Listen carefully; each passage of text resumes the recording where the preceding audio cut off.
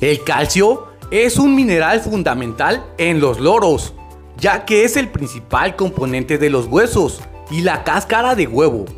Por ello, si tienes un loro como mascota, el calcio no debe faltar en su dieta.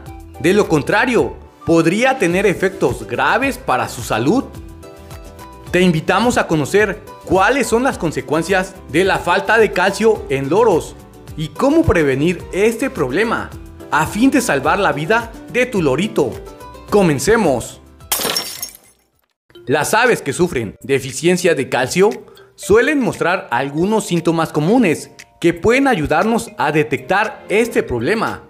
Sin embargo, no olvides que siempre es necesario que el lorito acuda con un veterinario especialista en aves para estar seguros de que se encuentra bien. La deficiencia de este mineral puede acarrear problemas desde leves a graves en la salud de los loros.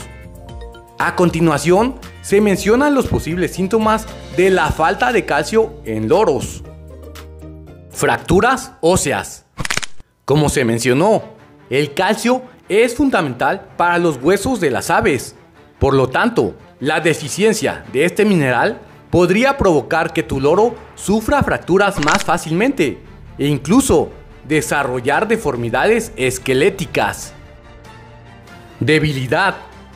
La ausencia de calcio en la dieta de los loros puede causar debilidad muscular, lo que puede llevar a que tu ave tenga dificultad para moverse, volar e incluso respirar adecuadamente.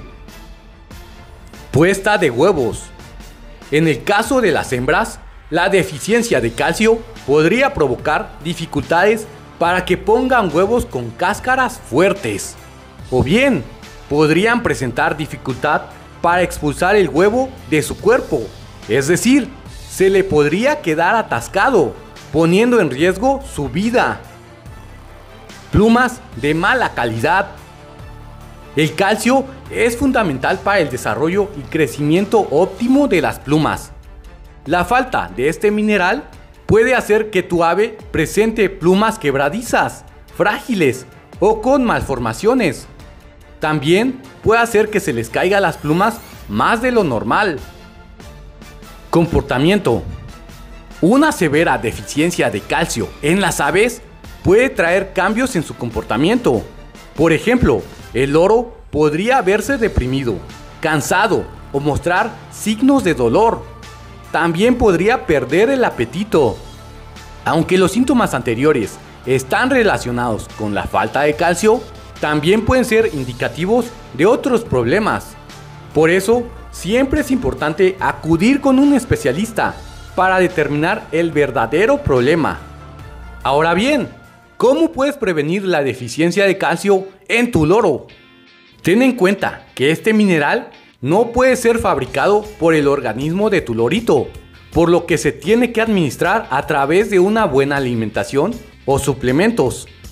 Algunos de los alimentos que son ricos en calcio son las verduras de hojas verdes, como las espinacas y acelgas, o puedes proporcionarle piensos que estén formulados especialmente para loros y que cumplen con todas sus necesidades nutricionales.